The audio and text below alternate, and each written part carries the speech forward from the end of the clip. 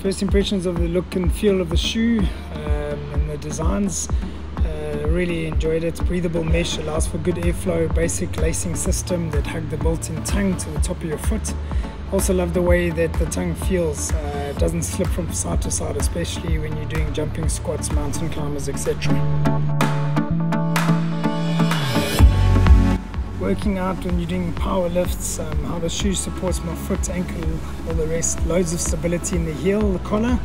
It gives confidence during leg press and squats. It's firm, forgiving foam all the way around. That allows for extra comfort and rigidity. Also enjoyed the fact that the ankle cut is lower, so the sides of the shoe don't dig into your ankle bones during strength or cardio and running exercises.